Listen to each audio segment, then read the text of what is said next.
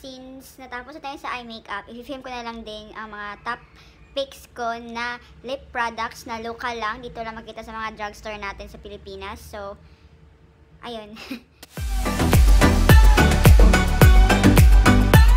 First ay itong water lip and cheek tint na Kiss and Bloom from Generation Happy Skin Active line. Ito siya. In the shade Breathe. Ito talaga ang pinaka the best para sa akin na lip tint. Kasi, di ba yung ibang lip tint, pag i-spread na sa lips, uh, katagalan is nag parang nagdit na lang sa loob ng lips ang parang reddish na bumubuo dyan sa ano lips. So, eto guys, hindi talaga. Promise. Trust me. Char. Medyo may kamahalan lang talaga. 299 pero the best. The best lip tint talaga. Kasi hindi ako malip tint pero ito na talaga. Sa kanila lang talagang brand na pinaka nagustuhan ko. So, eto, yung shade niya reddish siya. Pero parang my lips but better pa rin. MLBB.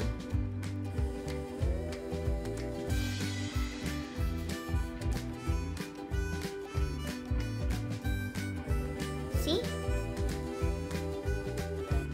Pwede nyo rin gawa ng ano, parang gradient lip. Diba? Pero ito siya guys. Parang natural lang. Hindi gaya ng ibang lip tint na 'di ba? Alam niyo na yung sa loob dito nagkukulay dark. So hindi ko yan gusto. Ito talaga the best.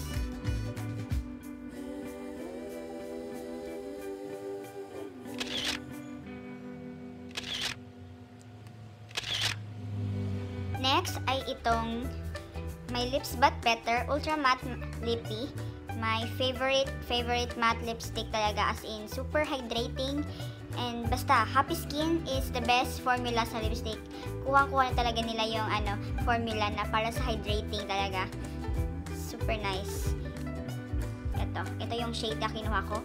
Wonder.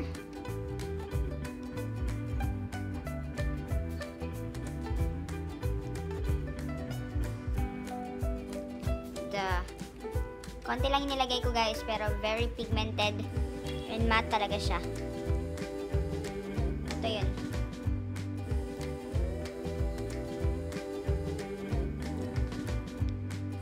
Paubos na nga eh.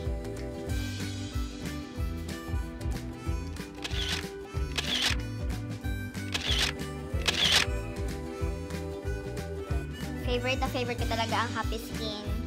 Kaso lang talaga, may kamahalan. Parang 399 itong ano nila, My Lips But Better. Gusto ko nga bilhin yung ano, new shades nila, yung bagong line ni Kat. Pero ang mahal, wala akong budget. Happy skin, baka naman. Charot. Charot lang. Arat na. Charot. Mm, super nice talaga, oh, di ba? Kita nyo yan?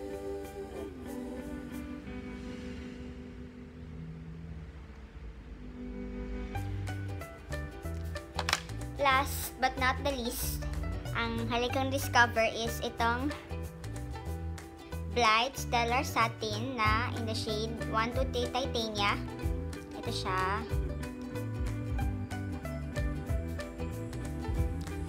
Super nice ng color and very, very, very affordable pa talaga. 165 pesos lang. The best talaga. Ang Careline. Isa. Hindi ako mahilig sa Careline na lipstick pero itong ito talaga, nagustuhan ko yung formula, yung color. Perfect na perfect for morena skin. Like me. So, ito yung nagustuhan ko talaga na nude na parang orangey. Something na color. So, ito yung shade niya.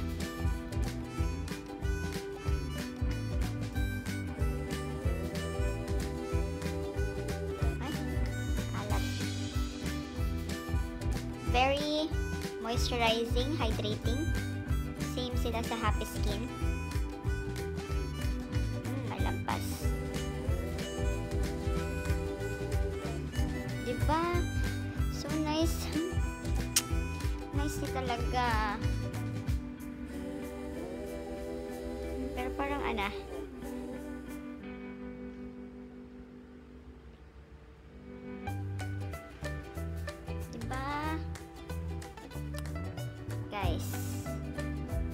One of the best nude na lipstick. Na very affordable pa talaga, di ba? Careline. Careline. So, ayun lang guys. Ito lang po yung tatlong gusto kong mga lip products na makikita lang natin sa Watsons at sa kanilang mga pop-up stores kahit saan sa department store. So, doon nyo lang mabibili to. And, yes, kung gusto nyo itong video, i-like nyo naman. And then, don't forget to subscribe to my channel for more upcoming videos na gagawin ko. So, ayun lang. Thanks for watching. Bye!